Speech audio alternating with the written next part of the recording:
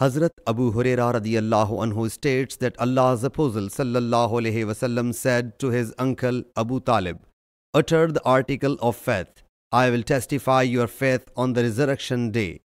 Abu Talib thereupon said, If I had not any surplus about the Quraysh remarks, Abu Talib embraced Islam fearing death. I would have made your eyes cool. Allah Jalla Jalaluhu whereupon revealed this verse. Undoubtedly, it is not that you can create guidance in whomsoever you like. Sahih Muslim, Hadith number 134.